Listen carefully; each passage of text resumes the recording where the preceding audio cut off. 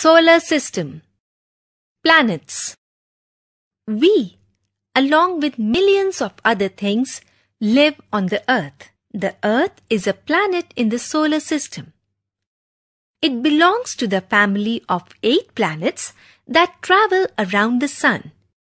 In order of their distance from the Sun, the eight planets are Mercury, Venus, Earth, Mars, Jupiter, Saturn, Uranus, and Neptune.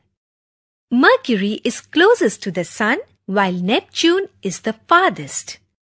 The biggest planet is Jupiter and the smallest is Mercury. Each planet has a fixed path of its own as it goes around the Sun. This path is called orbit. The orbits are not shaped like perfect circles. They are elliptical. As the orbit of each planet is fixed, they do not collide with each other. The Sun and its eight planets together form the solar system.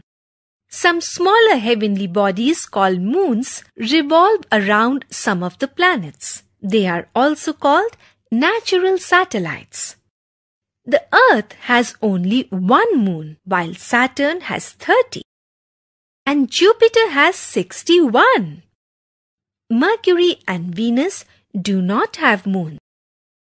Moons do not have light of their own. They shine in the sky at night because they reflect the light of the sun. The Earth's moon is 3,84,403 kilometers away from the Earth.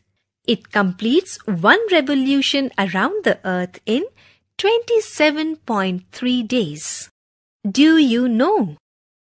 According to International Astronomical Union's IAU latest definition, a planet is a body in near circular orbit around a star, in our case the Sun, which is big enough for the force of gravity to make it round and should not take more than two centuries to revolve around the Sun. Pluto takes 248 years to revolve around the Sun, so it is disqualified as a planet.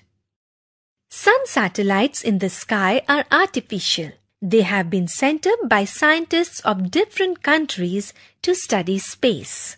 The first one of these was Sputnik 1, which was launched by the Russia on 4th October 1957. Since then, many other countries have sent up their satellites. India too is one of them. Some of the satellites launched by our scientists are Aryabhat, Rohini, INSAT 1B, INSAT 2B, etc. These satellites help in communications, weather forecasting, etc.